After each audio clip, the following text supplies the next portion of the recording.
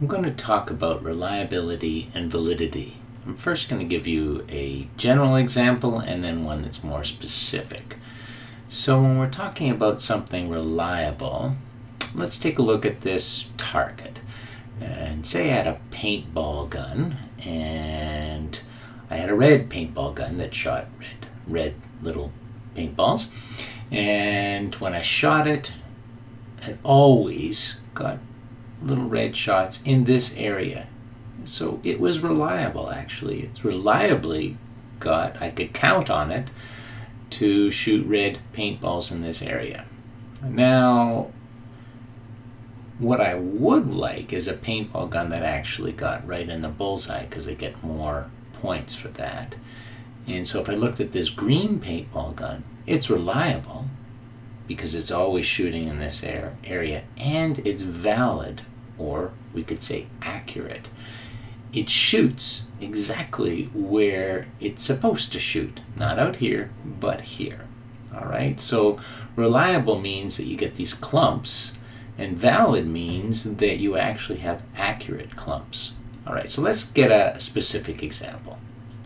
Okay, so here's my situation. I am looking to develop a measure, and that's usually what we look at when we're talking about reliability and validity. And I want a reliable and a valid measure. And I want to predict success in our MEd program. And I have three little scales, or three item scales. The first one's personal qualities, the second one's high school success, and the third one is university success. And here's my personalities, uh, qual personal quality scale. I looked at whether I asked someone about attractive, being attractive, whether they like jazz music, and their eye color. And so I measured that, and I also asked them their high school calculus grade, physics grade, and data management grade. And I asked them or rated their writing skill at university, their graduate record exam results at standardized scale, and their fourth year university average, all right? So these are my three little scales and I add up and I get a little score and I see how that predicts their grades at the end. Now the first test that I would want to do is a reliability test. I want to make sure that I've said these are personal qualities, that they clump together, that they correlate with each other that they, if I was a paintball analogy, they would all shoot in the same area or about the same area. And I use this internal reliability coefficient. And if, if they were, if they did stick together, it would be 1 or somewhere between 0.8 and 1. But here it's 0.23. They don't stick together. So whether someone's attractive really is no relationship to whether they like jazz music or their eye color. So I'd probably have to revise my scale. It's not very good at measuring what I'm calling personal qualities. It's not I can't look at them as a whole because normally what I would do is do a calculate a total score for this, a total score for this and a total score for that. And then say it measures personal qualities. But I can't do that if, if the reliability is 0.23 because these things actually aren't correlated with each other and they seem to measure kind of different things.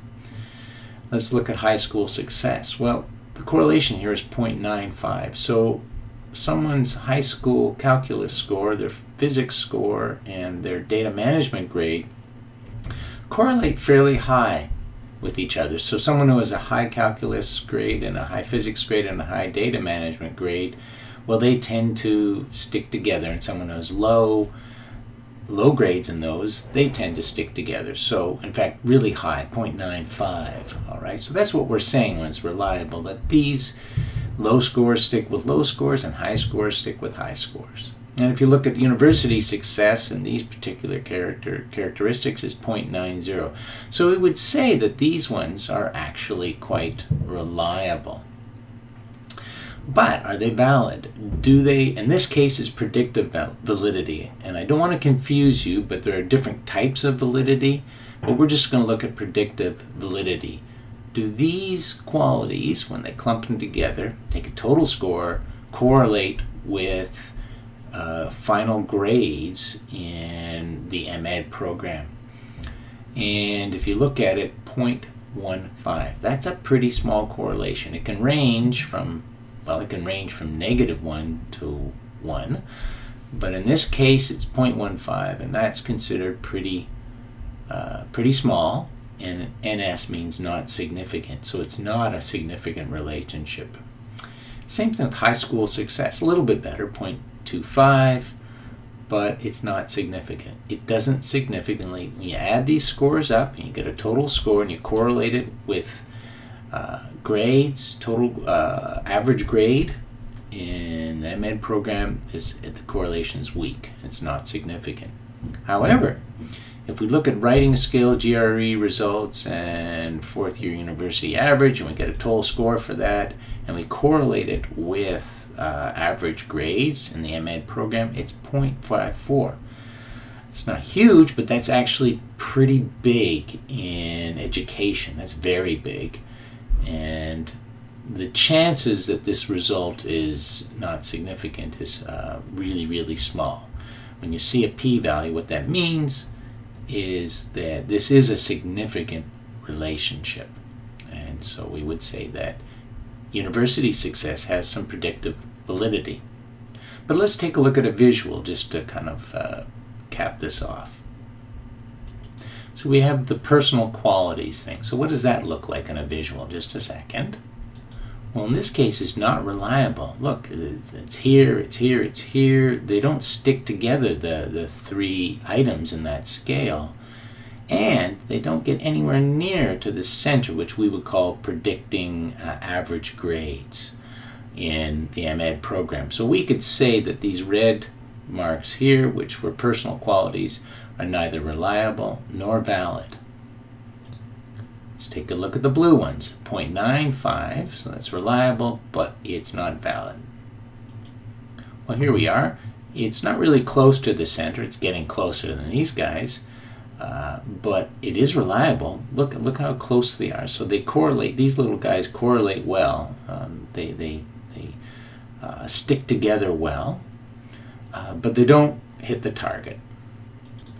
And then if you talk about university success, well, it's both reliable and it has predictive validity. And look, we have, it sticks together, so it's reliable, and it's very close to predicting what we want it to predict, which is in this case, average grades in the MEd programs. So this uh, university success predicts success at the graduate level, which is not surprising. So that is a summary of reliability and validity.